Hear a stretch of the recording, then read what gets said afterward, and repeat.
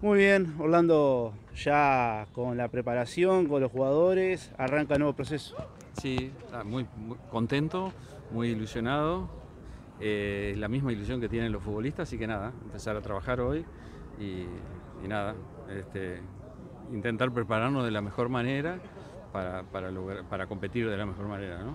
Eh, la base de juventud, muchos jugadores que conocen un poco las selecciones, creo que mantuviste una base que viene procesando varios años, jugadores que venían este, consolidándose y lo pueden demostrar en la selección ahora. Sí, fundamentalmente post pandemia, viste que ha sido complicadísimo y sobre todo para los futbolistas de, de, de, del interior, en el cual este, ha habido muchísimas lesiones, han jugado, han competido demasiado en, en, en, do, en doble, doble, semana, en, doble, doble partidos por semana. Entonces la prioridad fueron esos futbolistas que tuvieron la actividad mayor de competencia y, y, bueno, y algunos que han tenido pasado en el fútbol profesional y que, que también compitieron en, en, en, los torneos de OFI y que por supuesto han tenido procesos de selecciones. Sí.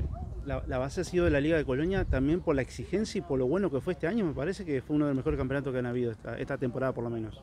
Bueno, eh, son, son, son futbolistas que tienen, tienen muy buen nivel, que también en esto hay que pesar y mucho eh, el, entrenamiento diario para los futbolistas que tienen que viajar, es complicado. Si estás acá en Colonia tenés un plus adicional, que no te desgastan los viajes.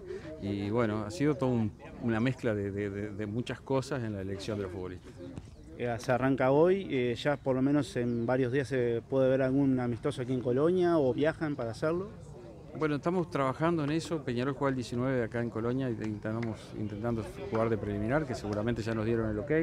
Y a partir de ahí hay otros equipos profesionales que están, están tratando de venir a hacer la pretemporada a Colonia.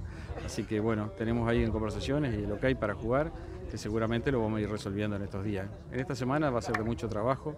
Este, esperemos que ya para dentro de, por lo menos después de 7 8 entrenamientos, pensar en algún partido. Muchas gracias. A las órdenes.